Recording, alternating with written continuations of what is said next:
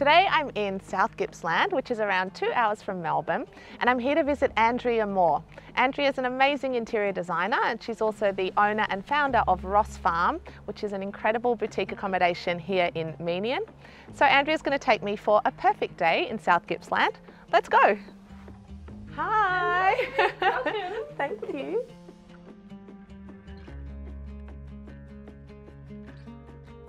Andy, thank you so much for having us at Ross Farm, which is, of course, your property, your family property, and you're responsible for all the interiors. So, how did this place come to be? Well, originally they were disused farm buildings on the property, so it was actually my dad's idea to turn it into accommodation. It's a real family project and quite a labour of love. So we have a cabin, a barn and a dairy that make up Ross Farm. Each space has been designed individually but also to work holistically as one. So you can rent either one or all three properties on site. But we wanted to create a unique place to stay and experience. I wanted to link it back to the landscape and where we are. I've tried to use materials that kind of reflect that a little bit, but also create spaces that are full of atmosphere. It's been lovely to kind of reconnect to my roots and have a new appreciation for the area, for its beauty, pretty amazing part of the world. There's a lot to love about South Gippsland. Uh, first of all, the community is really supportive and amazing, but also the beautiful landscape and places at our doorstep that we can visit. Um, it's got a lot to offer. Okay, so we're here at Moo's at Meeniyan for a morning coffee. Tell me a little bit about this place. Uh, so it's one of my favourite little spots in town. Um, it's owned by Marty. He's had it for about 10 years and last year we decided to do a bit of a revamp for him.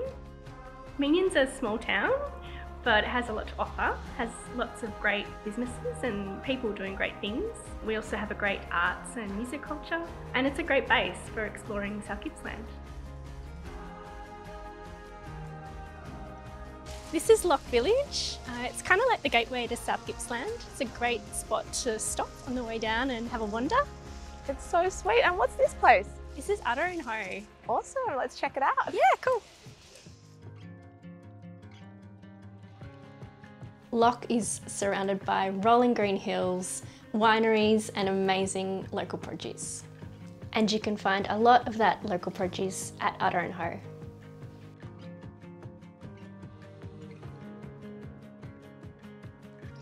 This is Waratah Hills Vineyard. I've been coming here for years. It's such a beautiful spot to take in the view, I love a lovely glass of wine or a long lunch.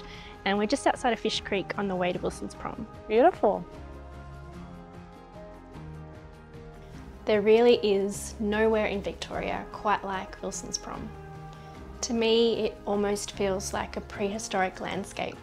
It's just so pristine and untouched. The scenery here really takes your breath away. I feel so lucky to have these spectacular beaches right on our doorstep.